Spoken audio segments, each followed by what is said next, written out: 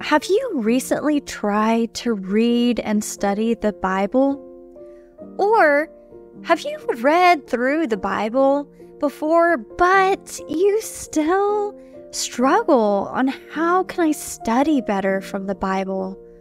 Or have you read the Bible but have never actually been taught how to study it? Today, we will be learning some helpful tips and different strategies for studying the Bible. Hello, welcome back to Signing Spiritually. I'm super excited to have you here today. Today, we are going to be studying how to study the Bible.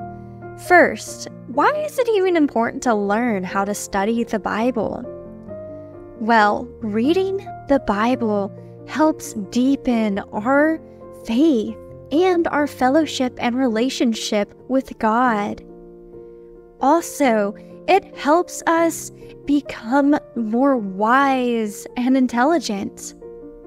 I have a Bible verse from the book of Matthew, and it's in chapter 7, verse 24. And that explains about becoming wise from studying the Bible. We're going to go ahead and look at that. Therefore, everyone who hears these words of mine and puts them into practice is like a wise man who built his house on a rock. In addition to this wisdom that we gain, it also helps teach us and guide our lives and our actions. I have another Bible verse I want to look at. It's from the book of Psalms, and it's chapter 119, verse 105. Your word is a lamp for my feet, a light on my path.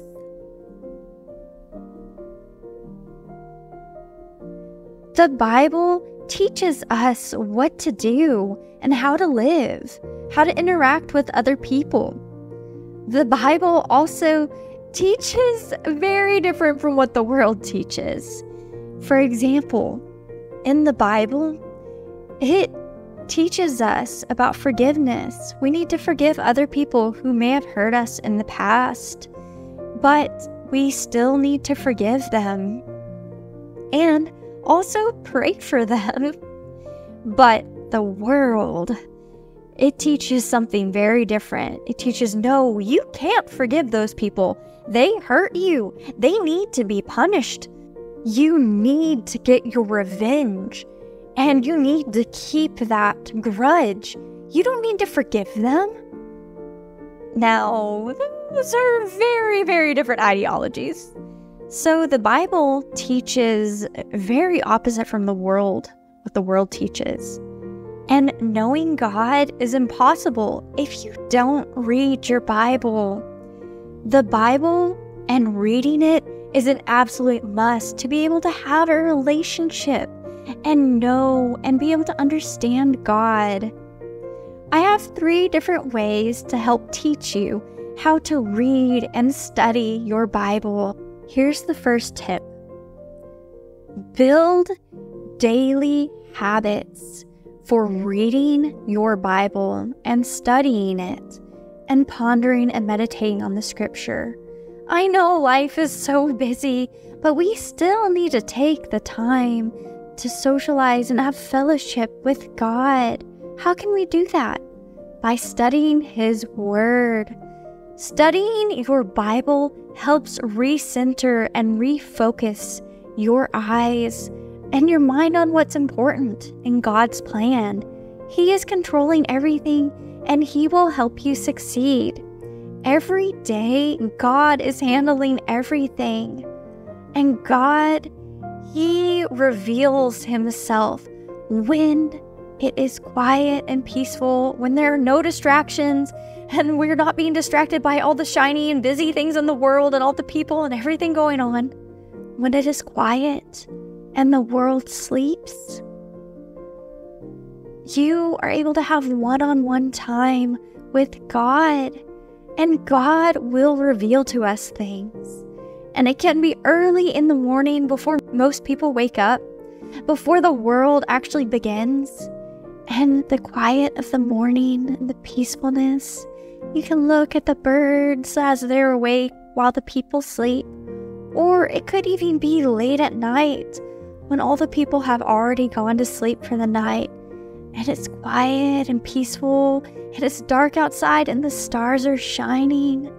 You can sit and study your Bible and just spend time with God. And often beginning your day by reading the Word will help you actually feel better, feel more empowered, ready for your day, feeling bolstered with self esteem and ready to accomplish great things because God is supporting me. It gives you a positive mindset. And how can we do that when life is so busy? What do we need to do? So, something useful to do is in the morning, open your Bible before you pick up your phone and start scrolling through social media. Or if you use your phone for your Bible app, before you open up Facebook or TikTok or Instagram, before you do that, open up your Bible app and just read through it. Read through the different plans. Or the Deaf Bible app, where they have signers that are deaf and expert, very fluent signers that can describe in sign language the different scriptures. That simple lifestyle change will influence and absolutely change your life, transform your mindset, and allow your soul to be inspired with hope and encouragement. The different truths and promises that are from God, that are in His Word.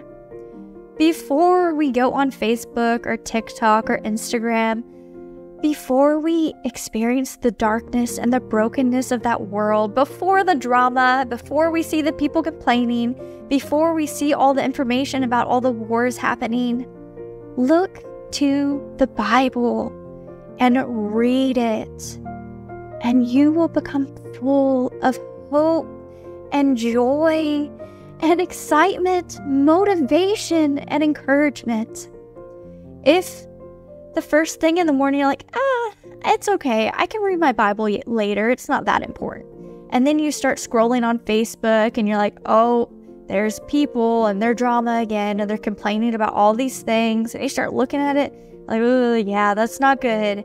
You might start to feel a little grumpy or even sad or frustrated. They're talking about me or just, you just won't feel happy in general. You'll just feel more grumpy and you'll feel some sorrow and heartbreak first thing in the morning.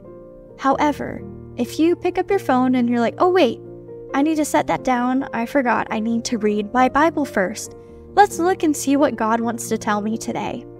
And you open and you start reading through the scripture, you will start to feel more empowered and your self esteem will improve. Yes, that's true. God will take care of me. That helps your spirit be filled with joy. Social media, it's just not good for your spirit, especially first thing in the morning.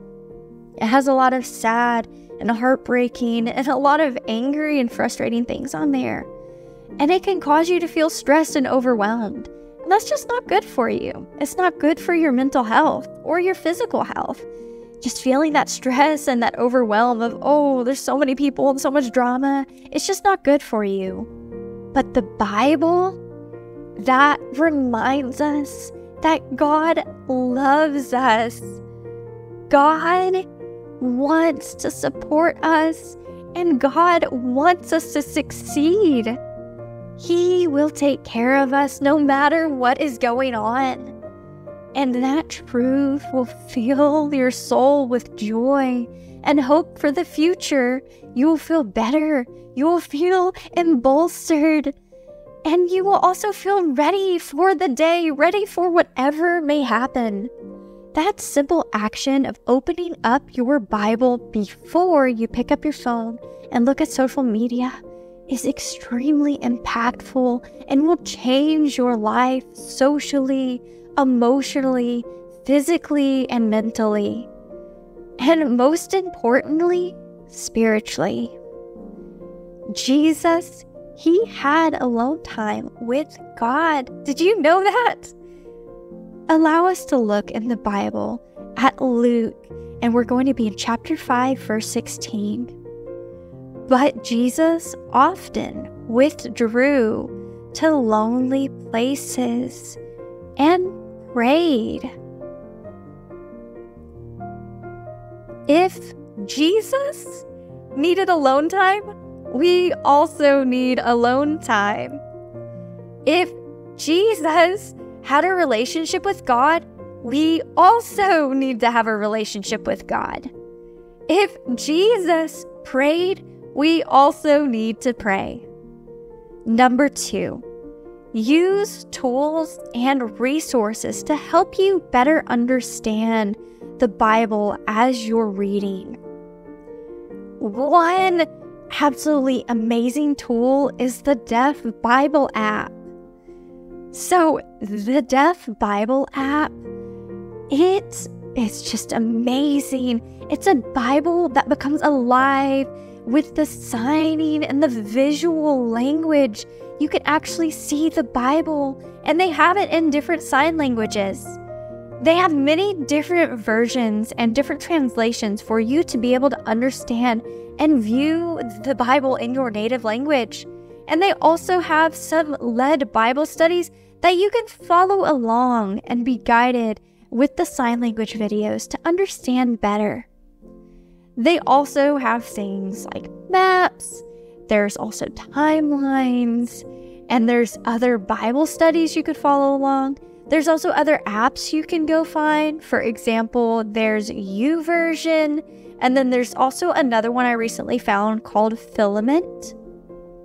And these all can help you deepen your faith and understanding with the scripture to help clarify it. Those different apps can help you understand and follow along the different scriptures and be able to study the Bible and understand it in a much clearer fashion.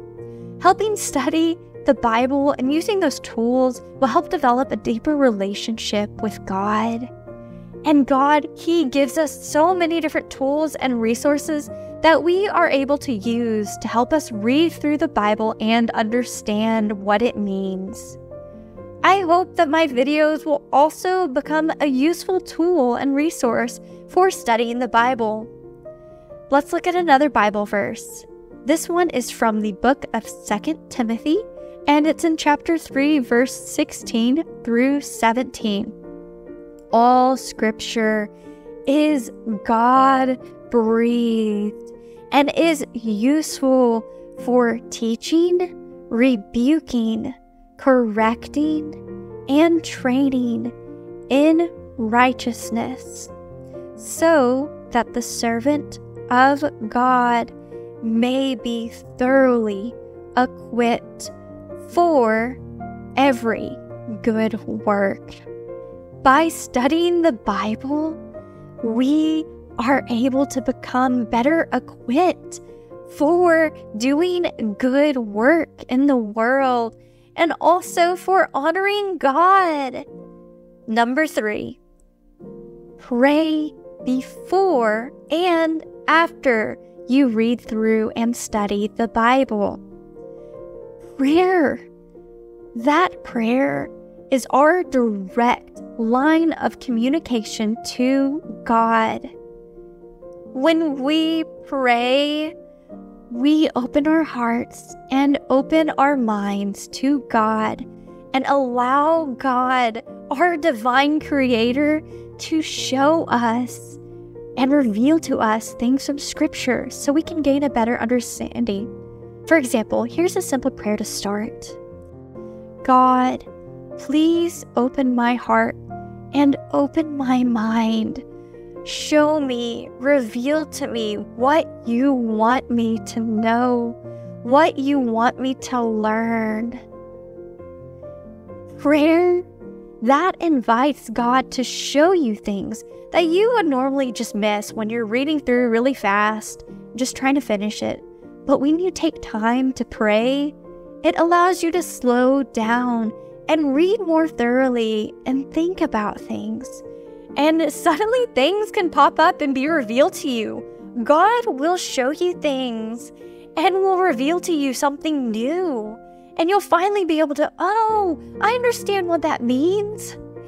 When you pray, you slow down and you allow God to come down with you and sit with you in that moment, in that place with you, and have a fellowship time with God, deepening your relationship as you're reading and studying the Bible.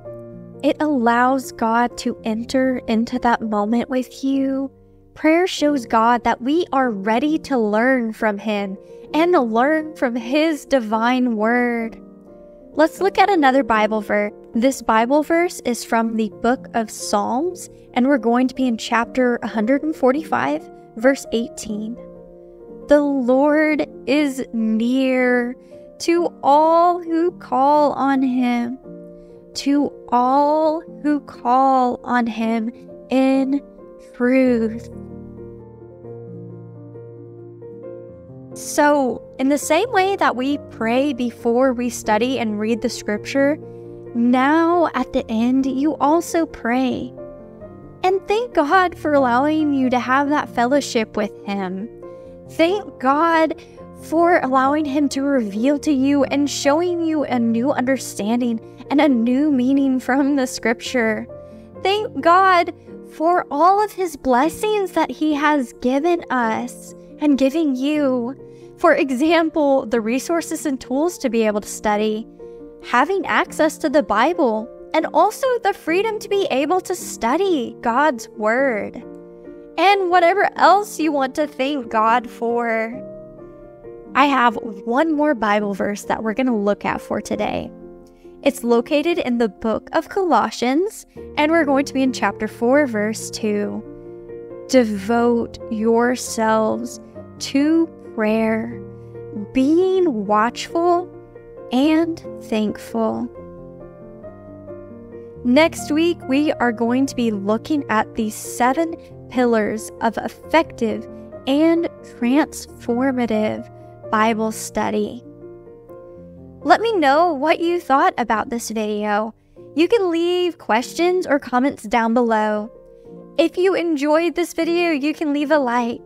And if you want to continue learning more about the Bible or how to study the Bible, you can subscribe. I hope to see you next week. And remember, love like God loves you. Bye. Love you.